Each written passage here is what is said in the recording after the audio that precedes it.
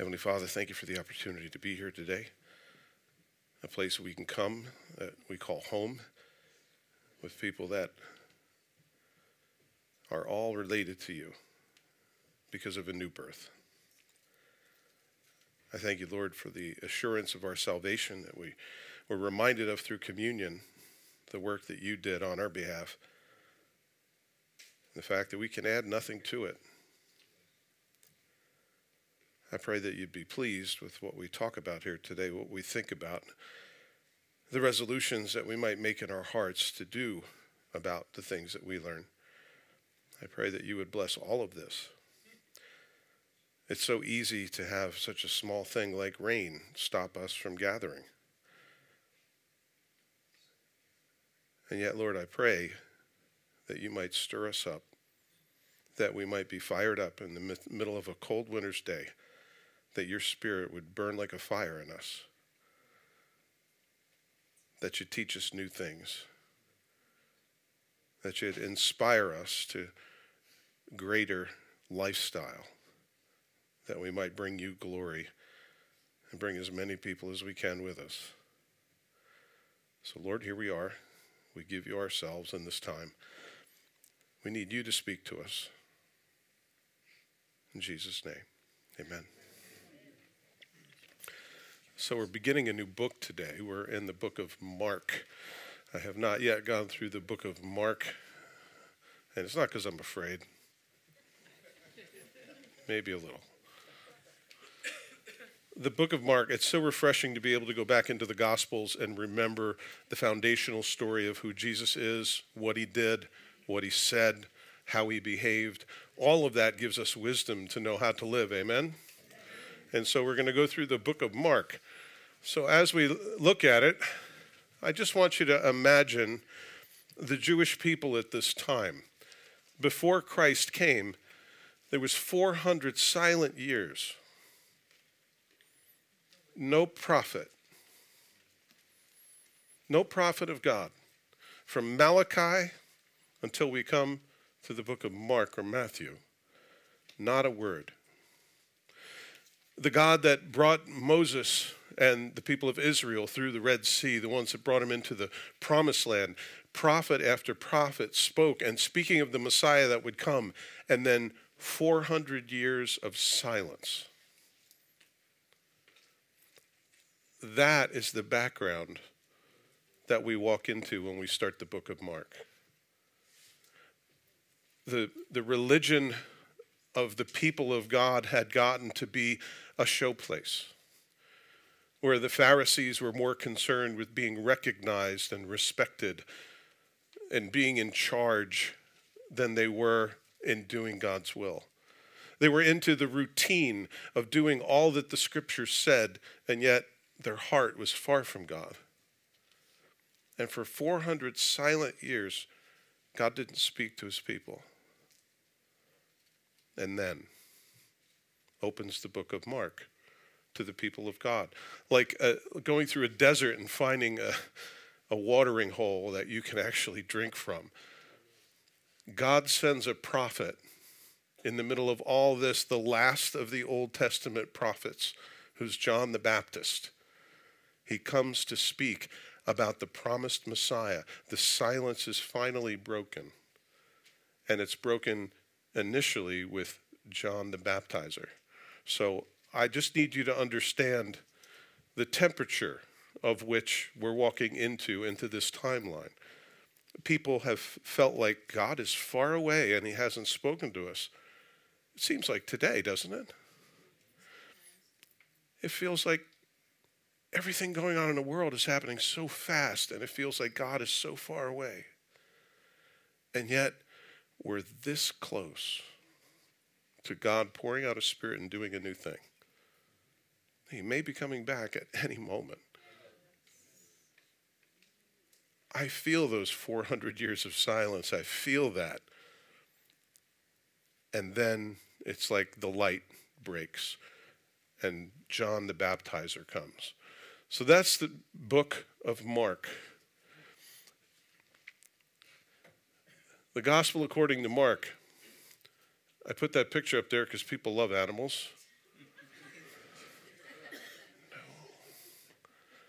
Not at all. Every, every, one of, every one of the Gospels is symbolized by a particular character. And um, it's interesting as you go to the book of Revelation, you'll see that there are creatures in heaven with four faces.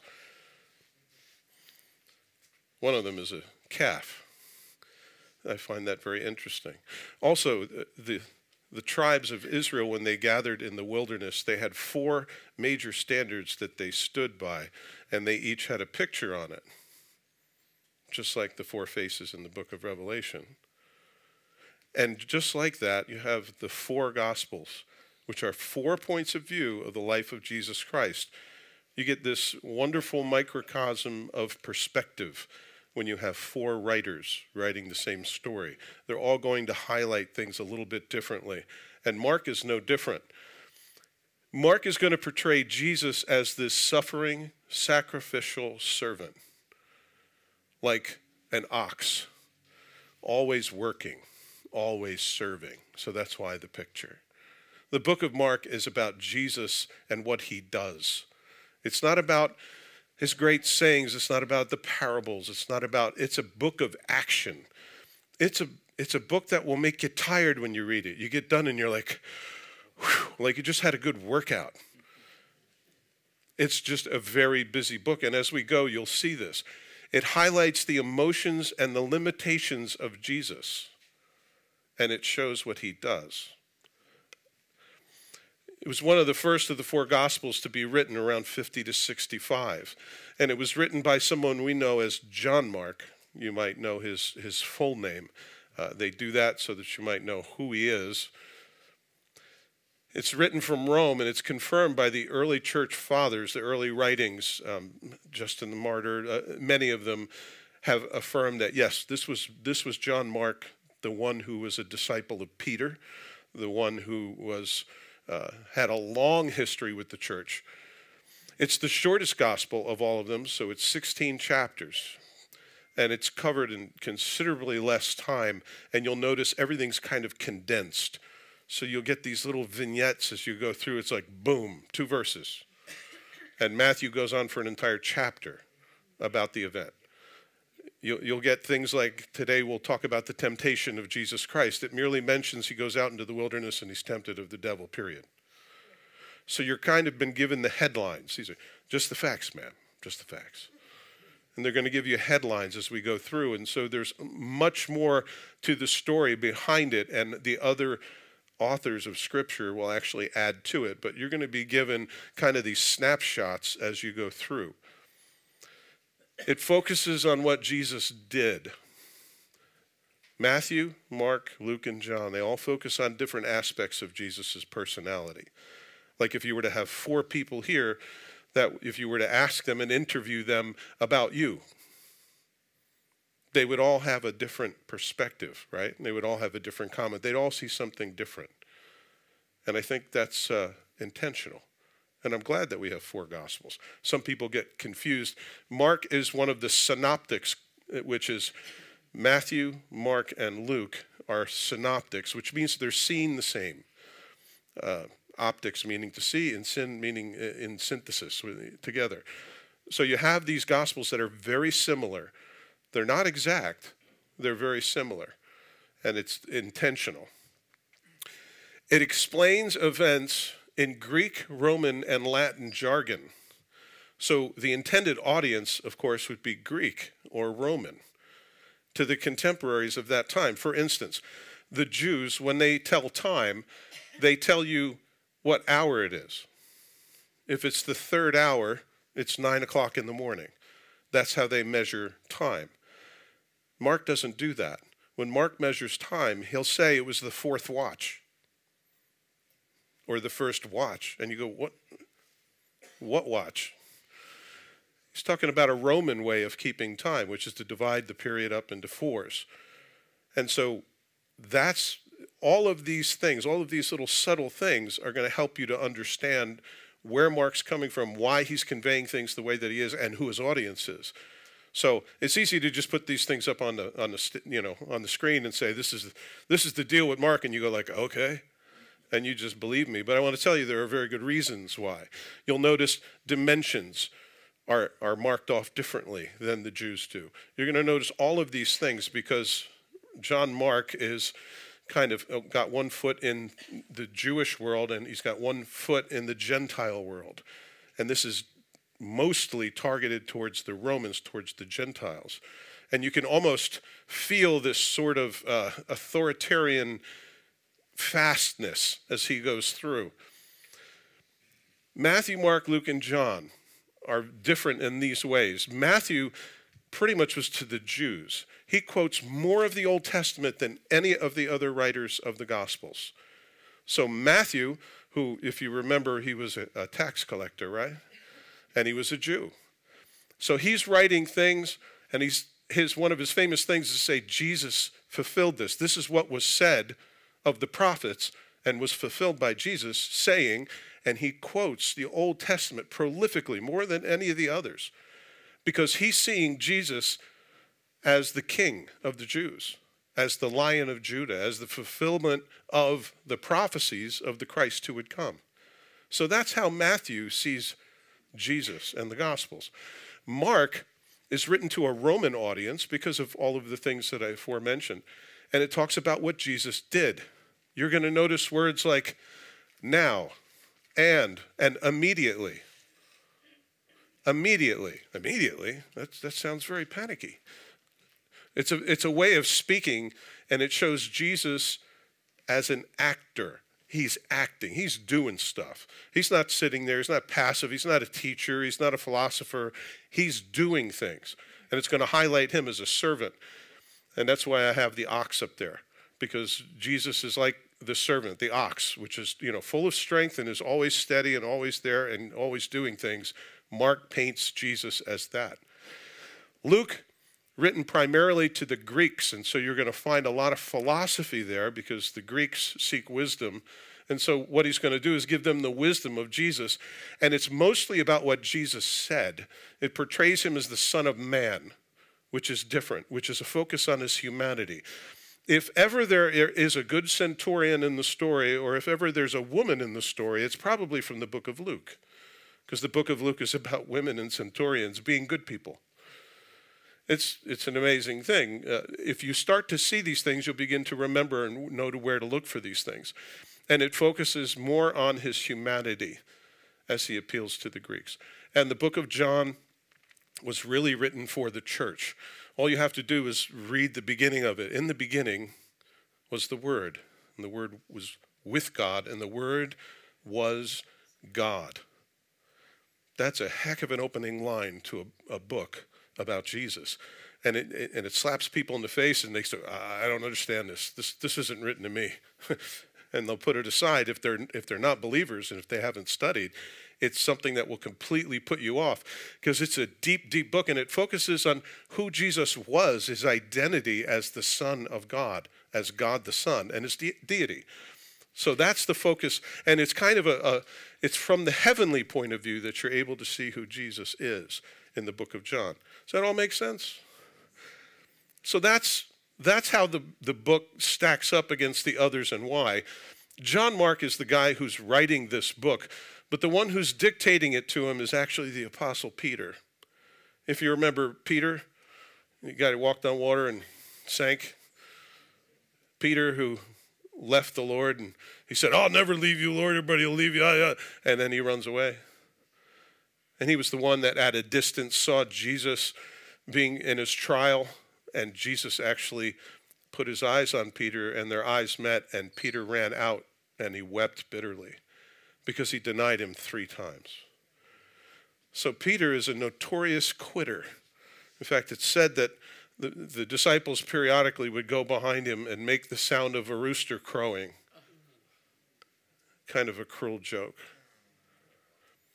So Peter has this stigma that he's got to slough off, and uh, he slips up a little in his ministry, and Paul has to square him away. But Peter is the one who hooks up with John Mark. John Mark being a young man, he's about 15 years younger than Jesus. And so he's probably a teenager when all of this is going on. So we have this non disciple, Uh, some people are bothered that Mark, well, Mark wasn't one of the original 12. Well, Matthew was and John was, and we're good. Luke wasn't. He was a reporter. He went around and just, you know, he took down dictation. It's so good because without without Luke, what would we do with Christmas? You got the wise guys, you know, you got the shepherds, you got the angels, you got the birth, you got the star, you got all of that, all in the book of Luke because Luke is taking it down. He's taking it like a like a, a, a somebody who's a, a journalist. But Mark is not a disciple, so he's kind of the second tier of disciples, but he's been around and he's been with them. He's a convert of the apostle Peter. If you go to chapter 5, verse 13 of, of Peter, First Peter, he calls Mark, John Mark, his son. And it's a, common thing of what disciplers would do, and we see Paul does this with Timothy. He calls Timothy his son, even though it's not his physical son, it's his spiritual son, because he led him to Christ and took him out on ministry and that kind of thing.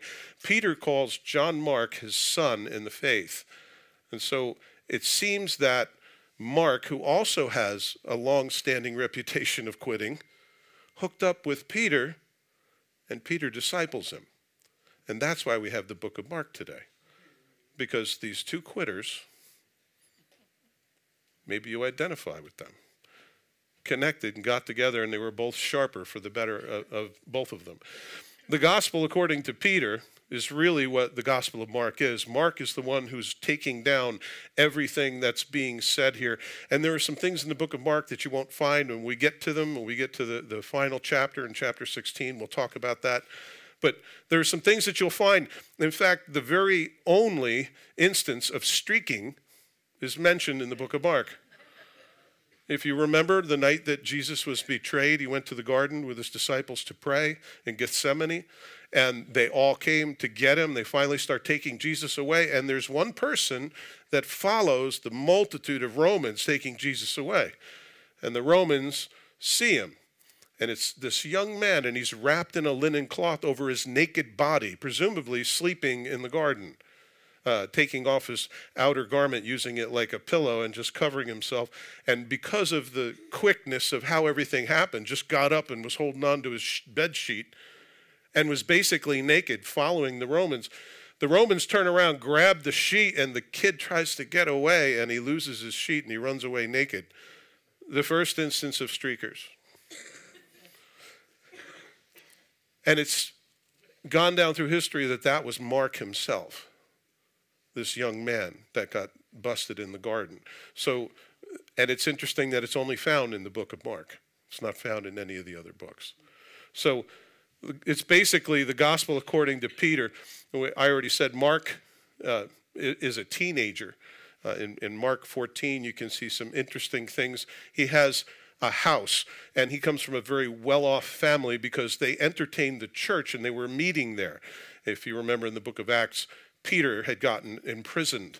And when he was in prison, the house church, they were praying for him. That's John Mark's house and his mother and they're all praying for Peter to be released. And suddenly there's a knock at the door, and we're told Rhoda, who's the name of the, the girl who's the servant of the house, goes to the door while they're all in a prayer meeting, and it's Peter.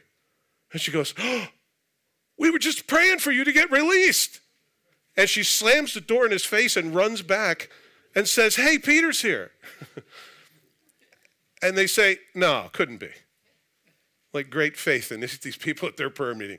No, it couldn't have been. It must have been his angel. What, a look-alike? He's got a doppelganger angel, really? So somebody gets up from the prayer meeting and goes to the front door, and sure enough, it's Peter standing at the door. He's been released. They can stop praying for him. And he explains everything that's going on, and he leaves. That's John Mark's house. That's John Mark's mother. And so we're, we're told that he's been very, very much part of what the disciples are doing. So he has an inside track, but it's really not his gospel. It's really Peter's gospel as he's writing it. He accompanied Paul on his first missionary journey with Barnabas. If you remember, Paul went out, and as he went out, they started preaching.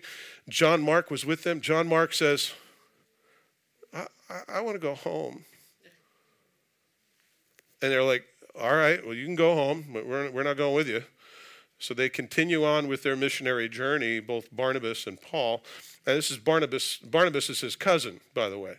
And so they get done with their missionary journey. They come back and they tell everybody at Antioch, this is what happened. We saw Gentiles get saved and, you know, all sorts of, you know, casting out demons and there were all sorts of miracles. And, and then Paul says, I got an idea. Why don't we go back and we'll visit the churches that we once saw? And uh, Barnabas says, That's great. I'll go get John Mark. And Paul said, No, you won't. He says, Well, we, we got to bring John Mark. He was with us the first time. He goes, Yeah, but I, I, I can imagine this in my mind, by the way.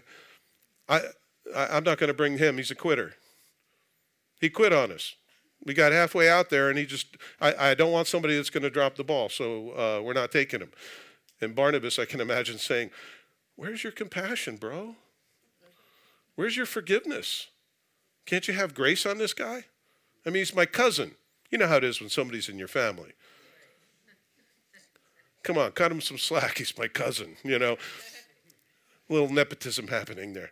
But it's not something that Paul is willing to yield on. And it says they had no small argument. When the Bible says they had no small argument, that means they had a big argument. They had a big argument about this, and neither one would bend these two godly men who have been out on these missionary journeys. And so Paul picks Silas and he goes back, and Barnabas grabs John Mark and he goes to Cyprus, which is where they went initially. Well, from what we understand through the history, he gets sent back to Jerusalem and he gets discipled by Peter, another famous quitter. And how God uses those experiences. Isn't it great how nothing in our life is wasted? Jesus uses all of it. And so Peter disciples him. Paul goes on his missionary journey, and instead of one couple, now you have two couples that are missionaries. So God worked it together for good, so I can't find that either one of those men was wrong in what they did. And the early church met at his house, and I mentioned that's out in Acts 12 if you want to look that up. So we have lots of information about Mark, who's, who's the uh, penned author here, and about how he was discipled by Peter. So as we go through, we'll just keep those things in mind. All right, verse 1. The beginning of the gospel of Jesus Christ, the Son of God. As it is written in the prophets, Behold, I send my messenger before your face, who will prepare your way before you. The voice of one crying in the wilderness, Prepare the way of the Lord, make his paths straight. If you look at the other Gospels, they have very long beginnings. Matthew is going to give a very long genealogy of who Jesus is related to, right? You're going to see, and in the book of Luke, you're going to see another long genealogy of who Jesus is related to one through his father, one through his mother, one his legal and one his physical uh, descendancy. And then you're going to see John, who in the beginning was the Word. The Word was with God, and the Word was God. That's, that's his origin. And because he's concerned about his image of who he is, he doesn't give his earthly descent because it doesn't matter. He's the Son of God. And yet Luke does, and Matthew does. Matthew, for his legal right to be a Jew and to be the Savior from the descendancy of David and also from his mother. So you get these very long introductions justifying who Jesus is Mark just says, in the beginning, the gospel of Jesus Christ, the Son of God, period. So you get the flavor of how he's going to write from now on. And then this is the only time that the author quotes the Old Testament. The only time the Old Testament is brought up in these two instances right here in the beginning. All the others are Jesus quoting the Old Testament. Guess what Jesus' favorite book was? Deuteronomy. Jesus' favorite book was Deuteronomy. At least he quotes from Deuteronomy more than all the others. But this is the only time you're going to see the author explain using an Old Testament passage because the Jews are not his primary audience. Behold, I send a messenger before your face who will prepare your way for you. There's no genealogy because Jesus is seen as the suffering servant. You don't need a descendancy, right? You don't need to say, well, I was on the Mayflower. You know, you don't have to have any of that kind of credential because he's a servant. A servant has no credential, right? So the two passages that you see here are from Isaiah 40, verse 3, which all of the gospel writers quote, and Malachi 3:1, which is quoted here by Mark. Preparing the road. basically, John the Baptist is the one who's going to come and prepare the road, right? This is the big windup to introduce John the Baptist. Uh, by the way, he wasn't Baptist, he wasn't Lutheran, he wasn't Methodist, he wasn't even Baptist. He was a baptizer, really. So if you want to be particular, you can call him John the Baptizer.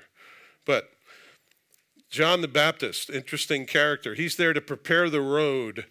In other words, he's, when, when you would have a dignitary or a king that would come into town, they would have people that would go in advance and they would make sure there's no homeless shelters on the side of the road, there'd be no potholes in the road, they'd fill it in. They would make sure that it would be all prepared. Uh, if you remember when President Obama came to Edison, New Jersey uh, during his tenure, they peppered the entire neighborhood with uh, uh, agents with like automatic rifles on their shoulders. And he went to this famous sub shop in Edison, and you can see guys on the roof with rifles protecting his visit to go get a sub. You know, they used to do this a long time ago, but it was more preparing the road and making sure it was safe as it went. And that's who John the Baptist was. He's somebody who came to kind of prepare people's hearts to meet with the Lord. You know, that's kind of what our worship team does, doesn't it? Kind of prepares us and focuses us and gets our eyes on the Lord so we can hear from the Holy Spirit. So it's about preparing the road, about moving, moving things forward and getting ready for the Messiah who would come. John came baptizing in the wilderness and preaching a baptism of repentance for the remission of sins. And then all the land of Judea and those in Jerusalem went out to him and were all baptized by him in the Jordan River, confessing their sins. We're given this very short vignette, and of course, we know John the Baptist was born and he's the cousin of Jesus, or the half cousin of Jesus. We know about Elizabeth, and we know all of that through whom? Luke. Whenever there's a woman involved, it's probably the book of Luke. We know about Elizabeth's song and Mary's song, and all of that comes from the book of Luke. So Elizabeth gives birth to him, and he actually has the Spirit of God upon him from birth. Interesting. I don't know anybody else that that's described of. But John the Baptist has the Spirit, and he recognizes Jesus in the womb of Mary when Mary shows up. He, he does like a soccer kick or something inside his mother's belly when Jesus shows up in, in utero. And we're given all of that from the book of Luke. Here, we're given it very, very short that he just appears. Here's this guy. And he, he was something to look at, too, because he, he had a Nazarite vow. A Nazarite vow from birth means I don't cut my hair, any of it. No manscaping. Can you imagine? You know, sometimes when I feel my beard's getting out of control, I think about John the Baptist and I say, ah, I got a long way to go. My wife says, You know, you really need a haircut. And I go, Ah, I got a long way to go. John the Baptist was out there, man. And he baptized people out in the Jordan River for the remission of sins. And he's baptizing Jews. You know, Jews don't get baptized. If you were a Gentile and you wanted to become a Jew, you had to learn the law. You had to get, you got to nip the tip. You got to get circumcised. And you have to wash you have to get baptized. And it's interesting, you baptize yourself. It's like they didn't want to touch it, they didn't want to put their hands on you. Go, go take a bath, go get cleaned up. And so baptism was something that they did, and baptize is a word that you'll actually find into the Old Testament, but it was done of cloth. When you take cloth and it's like a nice white cloth, and you put it in purple dye and it comes out purple, that is the kind of baptism that they were most using. It's interesting when you when you soak into the blood of Jesus how that changes us, right? And yet it's not a baptism uh, of water, it's a baptism of the Holy Spirit. And He changes our lives. So this baptism is for the remission of sins. And yet we know the Old Testament says there's no remission of sins without the shedding of blood. So John the Baptist is starting something new here. Guys, you can come and confess your sins, and it says they'll be remitted or they'll be covered over if you have a sincere intention to do God's will. I, I find that to be kind of unbiblical. And you know, the Pharisees saw this happening and thought it was heresy. because they got to they got to come to us, man. They they can't go to you and get their sins forgiven. And forget they can't go straight to God either. That's crazy. This is kind of a step of faith for somebody to do this, but the Jews were coming. Lines after lines of people coming to be baptized, confessing their sin. And you see, he's preparing the heart for Jesus to show up. These are people who would one day find Jesus and follow him. These are people who have already done business with God and realized they're a sinner. Like Romans, you know, 623, that we have all sinned and fall short of the glory of God. So this is a baptism of repentance, which is an expression of faith, which I think is rather interesting. Where is he baptizing? In the Jordan River. Why? Because there's water there. If you're going to baptize people, it's a good idea to have water, don't you think? Just agree with me, please. Yeah. And the place where he's baptizing, it doesn't say here, but it's the place where the Jews crossed over Jordan into the promised land. And if you remember, they set up a whole stack of stones in the middle of the river because the Lord split it for them and they were able to walk over as soon as the Levites got in the water. That's where he's chosen to baptize. I think that's rather significant. And it's, it's significant because we're given the story later of exactly where this is. And of course, like everything in the Holy Land, it's made into be a big deal. You can go and get baptized actually in the Jordan River in the very place where John the Baptizer baptized Jesus. And some people think that's cool enough to spend, you know, $5,000. So we got a pool. We'll put right out here. We'll get you wet. But this is it, actually. This is the location. So if you go there, uh, don't be surprised. It's just kind of a greenish brown, muddy river. It's the crossing of where they went into the promised land. In verse 6 Now John was clothed with camel's hair and with a leather belt around his waist, and he ate locusts and wild honey.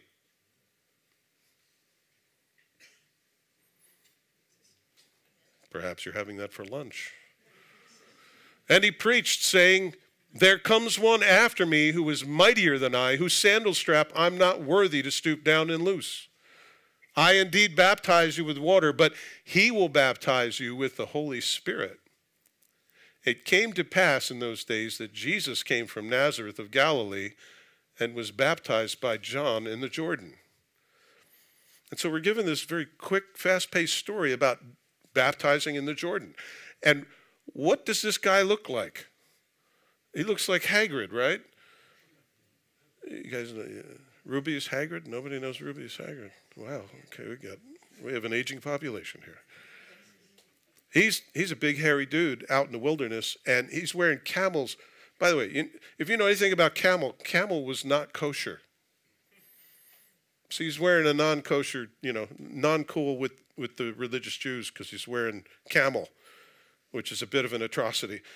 And he has a leather belt around his waist. Well, why do we care whether he has leather or it's vinyl or like who cares? Because the description of him is exactly the description of Elisha. Elijah, rather. Elijah came, it was a prophet, and he looked a lot like Elijah, which is why the Pharisees came up and said, Are you Elijah? Because he looked like Elijah, and the description of him was just like the description of John.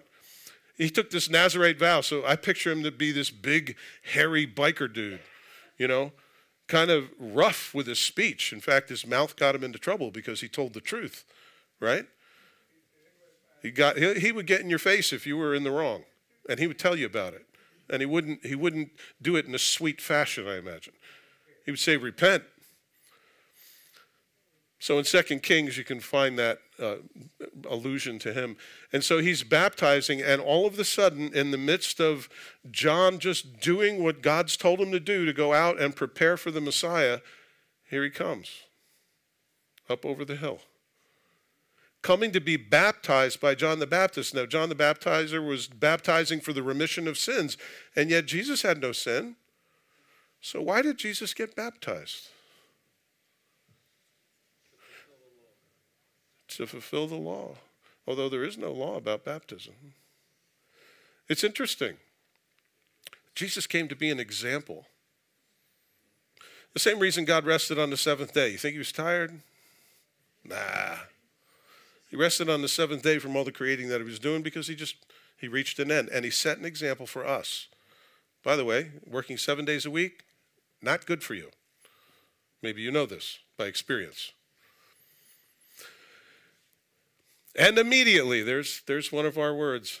Coming up out of the water, he saw the heavens parting and the Spirit descending upon him like a dove. And the voice came from heaven You are my beloved Son, in whom I am well pleased. Immediately, the Spirit drove him into the wilderness, and he was there in the wilderness for 40 days, tempted by Satan, and was with the wild beasts, and the angels ministered to him. It's like, wow, there's an entire Sunday sermon right there on one, on one slide. Jesus goes into the water, and it's interesting. You see, the Father shows up because there's a voice we see Jesus being baptized, and we see the Spirit like a dove falling upon him. You, do you believe in a Trinity? Well, it's interesting. It's right here in the book of Mark, if, if you want to show that to some of your Jehovah Witness friends. There's the Father, the Son, and the Holy Spirit. Uh, they even have some uh, branches of Christianity, uh, like the oneness people, uh, Pentecostal oneness. They don't believe that God will ever take uh, three forms. Will, he'll only appear in one form or another. So while Jesus is here, the Holy Spirit can't come. But Jesus is here, the Spirit's here, and the Father's here, right? So there's a Trinity, and God's the one who sets the rules, not us, by the way.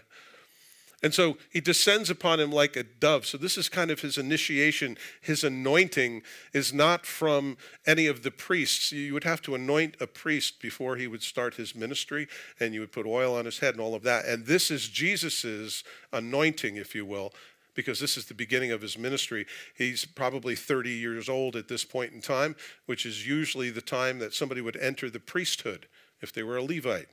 So Jesus is being anointed to be our high priest. And so a voice comes from heaven You're my beloved Son, in whom I am well pleased. Yeah, Jesus didn't have to repent of any sins, he was there as an example. And immediately the Spirit drove him into the wilderness, and he was there in the wilderness for 40 days, tempted by Satan and was in with the wild beasts, and the angels ministered to him. It's interesting. Do you ever remember that there were wild beasts? It says it here in the book of Mark, which is whenever there's a difference from Mark from the other gospels, I find it interesting. And it says the angels came and ministered to him. There's another time when this happened, when he was in the garden, remember? The angels ministered to him. There was another time when he was up on the Mount of Transfiguration and he had, he had a little bit of a, a war council up on the mountain. But he was out there with the wild beasts. Now, we know from the other Gospels that he was fasting for 40 days and 40 nights, and then the 40th day he was hungry. They say when you go that far, uh, i mean, I know what it's like to fast to the point where you're not hungry anymore, but they say when your body gets hungry around that 40th day, that's your body saying, if you don't feed us, we're going to die. And so Jesus was hungry, and that's when the devil came and tempted him. You ever get tempted when you're hungry? Only a couple of you. Okay. Yeah, I try to make sure I eat frequently. So I, am not tempted. And he was with the wild beasts, and the angels ministered to him. So the, the whole temptation of Jesus and the three temptations that the devil brought to him uh, are not listed here, but it's just Jesus was the same spirit that fell upon him, made him and compelled him to go out into the wilderness. And this was his testing period. Before he entered full time ministry, guess what happened? He was tested. And you may find that to be the case with you. Before you reach that place of fullness and peace or whatever it is that you think God has called you to, there might be a whole lot of testing between now and then. I can attest to it myself. I had a whole lot of testing between then and now. And Jesus did as well. Verse 14. Now, after John was put in prison, by the way, this is like a big fast forward into something that happens later. After John was put in prison, Jesus came to Galilee preaching the gospel of the kingdom of God and saying, The time is fulfilled and the kingdom of God is at hand and believe the gospel. So Jesus began preaching at this point in time after Jesus, after uh, John gets put in prison. John gets put in prison because he, he, he tells uh, he tells somebody something he didn't want to hear, and they eventually cut his head off, right? There was a time in which he began to doubt if Jesus was the one whom he said he was. He says, Behold the Lamb of God. And he sends a couple of disciples and he says, Ask him, if, Are you the guy or are we looking for somebody else? Because John is languishing in prison and he's wondering, Are you really the Messiah? Because you should be setting the prisoners free according to the scriptures. And hello. You see, he was looking for justice and he didn't see it happen. And so he began to question in his faith. You guys know what that feels like? You get in a place where you're suffering unjustly and you say, Lord, where are you? We all get tested like that, all of us. And it's a good thing because we come out on the other side like gold. Verse 16 And as he walked by the Sea of Galilee, he saw Simon and Andrew, his brother, casting a net into the sea, for they were fishermen. Well, that makes sense. Then Jesus said to them, Follow me, and I will make you become fishers of men. And they immediately left their nets and followed him. When he had gone a little further from there, he saw James the son of Zebedee and John his brother, who also were in the boat mending their nets.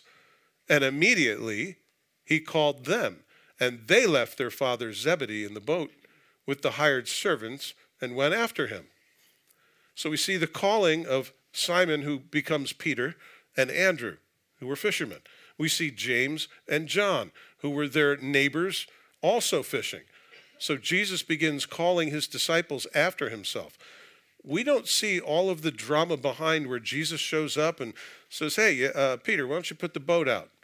And Peter says, Well, listen, I've been fishing all day, I haven't caught anything. But at your word, I'll do it. And so he pushes off and he goes out and Peter's fishing over the one side of the boat, which you typically fish off.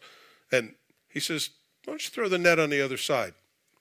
And Peter's like, All right, this seems like a stupid thing. I mean, you, you should stick to Bible teaching, pal. You know, I'm, I'm the fisherman, but I'll do it. And so he does it. And there's so many fish he doesn't know what to do. And he has to call James and John over, and they help them to haul all these fish back in. And Peter drops to his knees and he says, Lord, you got to you got to stay away from me. I'm a man of unclean lips. I, I, I might, you know, the f bomb might go shooting off out of my mouth at any moment. You don't want me. And Jesus smiles at him and he says, you know, you're going to be a fisher of men. That's what you're going to be. And I, I just think about how Jesus begins picking his team. You know, we used to play kickball and, and you know, uh, when I was very young.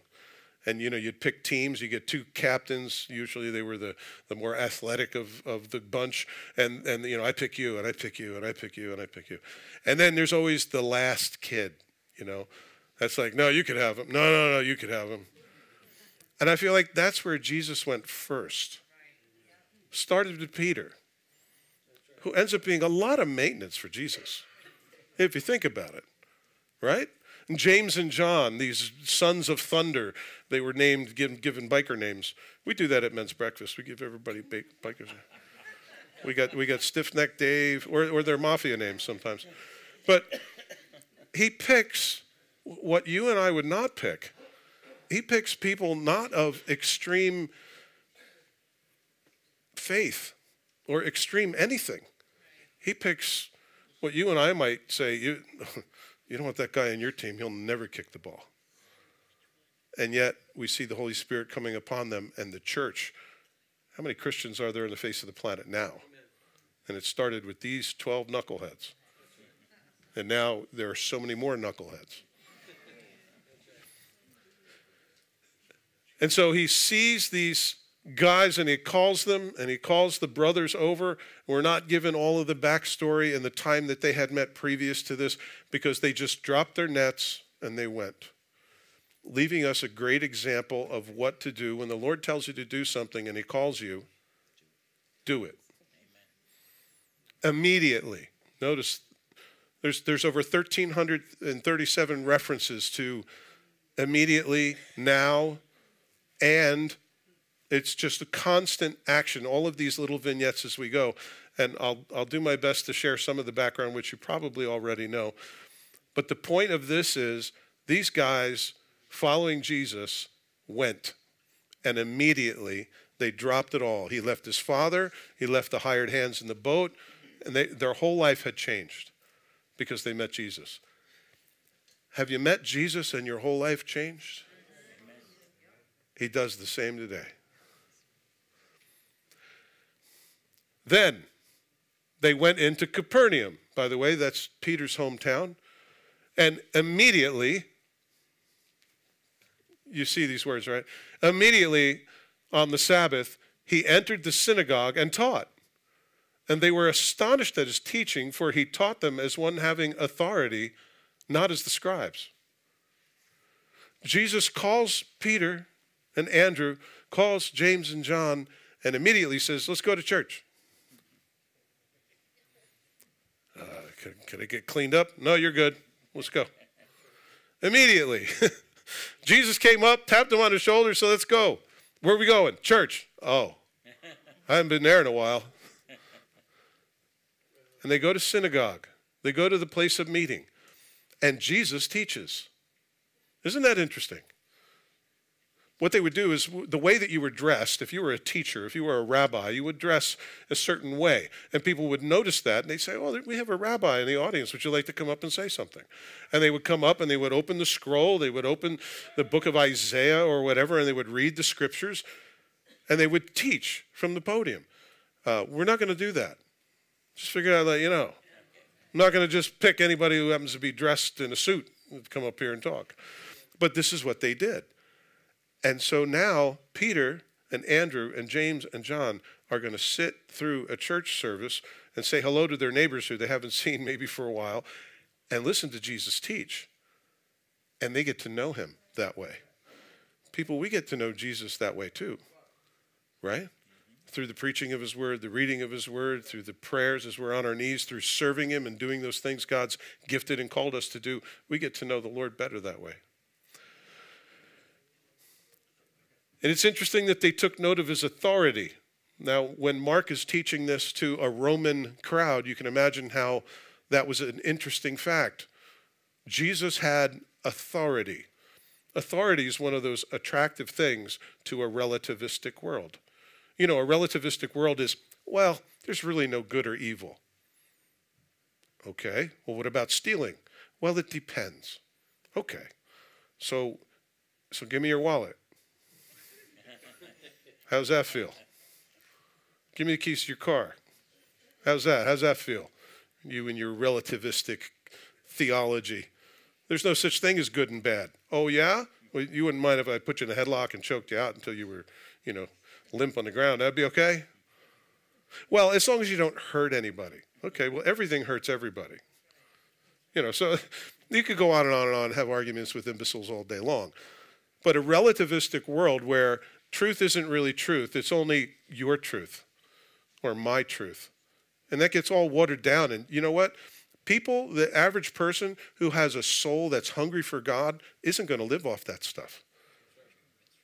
You know, I could learn to tap dance and do fancy things up here and, you know, do a backflip and I could entertain you and you could all go, oh, that's fabulous. How an old man like him can do that. You know, that could all be good, but that, you're not, your soul is not going to be fortified by entertainment which tells me these people are starving for a word from God. And Jesus comes and he speaks, and they're like, right on. Amen. There's something in my soul that resonates when I hear the truth of God, when I hear somebody else quote a scripture or bring something to bear, a good counsel or a good piece of wisdom. Boy, it's something that resonates in the soul, doesn't it? And they got to hear, gee, can you imagine having heard Jesus teach? Just his facial expressions and everything. I, I, I, I wish I saw him. I, I wish I saw him with my own eyes. And yet, these guys got to see him in the very beginning of his ministry, in the very beginning of them following him. And he speaks with authority. When you speak the word of God, you speak with authority. When you tell people Jesus Christ is the Son of God, you can do that, by the way, because it's the truth. And when you say it convinced and with authority. There's someone behind that, the Holy Spirit of God, which will bring conviction. Authority is knowledge and conviction together. It's a knowledge of something, but not just a knowledge, there's a deep conviction. There's a settled fire of, I know this is true. And that's the authority that Jesus just exuded. And so Mark sees the authority of Jesus as being this very attractive quality. Um, I'm going to talk to the men for a minute. You know, for us men to take up leadership positions in this world, and especially if your skin is the same color as mine, it's seen as an evil thing. Oh, that's so masculine, it's so aggressive. Well, who's going to take charge? I'll tell you what. Men, God has called us to be leaders, like Jesus, as we serve, as we serve and love those who are around us. It's not about taking authority, it's about being faithful with authority. We have had so many unrighteous men in this world take authority and misuse it to squeeze other people for money or to subjugate other people. And that makes people with my skin color look terrible, which makes me look terrible in the eyes of this world. I want to be like Jesus and live that down. How about you? Authority is knowledge and conviction. John chapter 3, it's said of Jesus, For he whom God has sent speaks the words of God. And God does not give the Spirit by measure or without limit. The Father loves the Son and has given all things into his hand. He who believes in the Son has everlasting life, and he who does not believe in the Son shall not see life, but the wrath of God abides on him. Jesus was the only one that was given the Spirit without measure. Every one of us has a measure. You know, we're like a cup. You know, some of us are little cups, some of us are bigger cups, some of us are, you know, giant cups. Jesus was a bottomless cup. He was given the Spirit without measure. Boy, I really wish I would have seen him when he walked the earth. I wish I could have been there. And yet, God holds us responsible to be faithful with the little cup He's given us, right? And it's so easy to just neglect and to put it away. Now, there was a man in the synagogue with an unclean spirit. That's great. There's always one, right? Sometime in your life, you're going to have somebody in church that just is full of an unclean spirit. Uh, you, you, guys are wondering who it is, right? It's like getting on a plane and looking for the terrorist. I did a lot of flying at that time what I did. But there's this, Jesus calls these guys, he's baptized, he gets John and, and his brother James, and he gets Peter and Andrew. Let's go to let's go to church. They go to church, Jesus is speaking, and there's one person there with an unclean spirit. So there's going to be conflict. Right away in Jesus' ministry, there's conflict. Do you know anytime you want to do something good, you know there's an enemy of our souls? And he'll be right there to try to steal it away. And that's okay, because Jesus handles it. And he cried out, saying, Let us alone. What have we to do with you, Jesus of Nazareth? It's interesting, they know who he is immediately. Do you come to destroy us? I know who you are, the Holy One of God. It's funny, this spirit knew before anybody else in the room who Jesus was. But Jesus rebuked him, saying, Be quiet and come out of him. And then the unclean spirit had convulsed him and cried out with a loud voice. He came out of him. Then they were all amazed. And so they questioned among themselves, saying, What is this? What new doctrine is this? For with authority he commands even the unclean spirits, and they obey him. You see, they were impressed again by his authority, and it's emphasized again. So you've got one person that's got an unclean spirit, and they rise up in the middle of Jesus, presumably speaking the word of God, and Jesus handles it. He didn't call the deacons. Aren't you glad, guys? John Graham, would you take care of this unclean spirited guy over here? Grab him, grab him by the neck, drag him out of here. I'm in the middle of speaking God's word. I have no problem. I'll be glad to take care of it, John. I'll use the scripture as my example. Um, Jesus handled it with authority, and he cast out this evil spirit, and it was multiples. Why do you come to bother us? It's multiple, it's not just one. And Jesus casts them out, and the guy convulses on the ground, and then he's in his right mind and he's back. His family gets him back because this evil spirits are, are now gone. The ministry of Jesus is such that he casts out demons and evil spirits. You got some of those in your past? Jesus cleans house.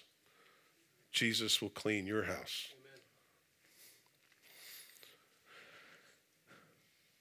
Because putting up with things like that aren't necessarily bad things because by the time it was all over, they recognized Jesus for who he was. A true and right message from a contaminated instrument is not worth enduring. Jesus shut these spirits down because they were speaking the truth, but they were very bad advertising, right?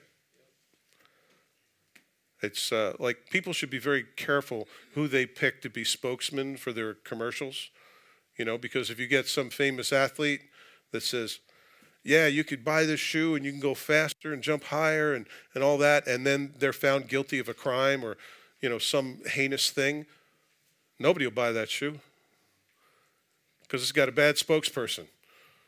That's why Jesus shut them down. Not because they weren't telling the truth, but because they weren't worthy to say it. Never legitimize a false ministry. You know, I know I know people like to go online, you know, and, and they like to argue the Bible with people. Oh, yeah, but it says here in the Bible. take that, enter. and then they'll come back with something and be like, ooh, oh, I felt that one. Okay, wait, let's pull up another one. Pastor Dave, I'm talking to somebody online and having an argument, and I'm trying to prove, you know, you know, God doesn't need you to fight him, for, you know, fight for him. He's okay. He, he can take care of it and he can melt a heart just like that when years and years and years of you arguing didn't do anything, one moment with the Holy Spirit falling on them, they'll be in tears. Amen.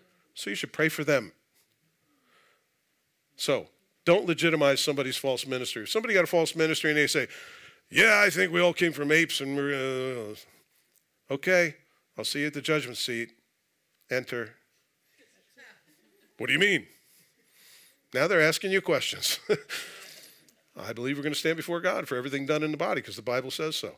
Jesus came, lived a perfect life, and he resurrected from the dead and told us that he's preparing a place for us. So I'm with him. Good luck.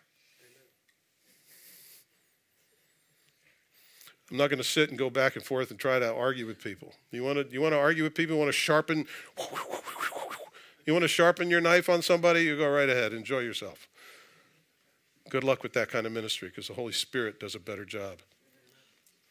So he's chosen some guys. They've gone to synagogue. Jesus teaches. There's an evil spirit that gets cast out. And immediately his fame spread through all the region around Galilee. And as soon as they had come out of the synagogue, they entered the house of Simon and Andrew. They're going for lunch, which is what we do. And James and John.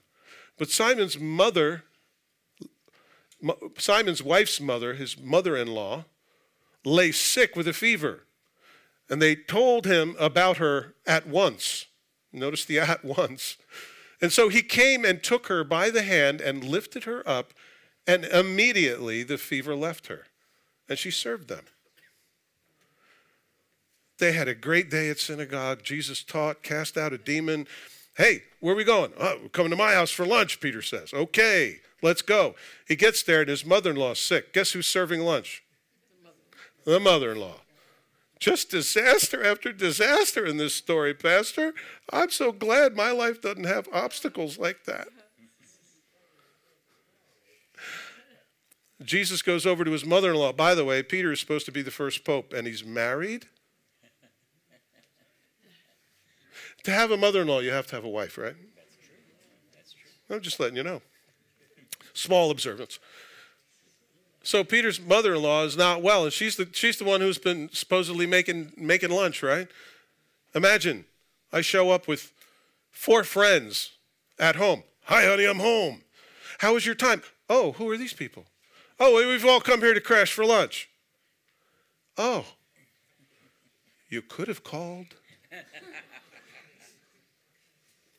And so Jesus is going with all of these guys for lunch over at Peter's house, but his mother in law's sick. So what's Jesus do? Ah, it's all right, we'll go to McDonald's. no, Jesus, in true form as a servant, goes and he lifts her up. First of all, he reaches out and touches a sick woman. I don't know about that. He reaches out and touches a sick woman, and just his touch changes her, and she gets on her feet. And the first thing she does, starts making lunch. When Jesus touches you, the first thing you're going to want to do is serve him. When Jesus touches your life and he makes you new, and you knew that you had a sin sick soul, and Jesus makes you new, the first thing you're going to want to do is serve him.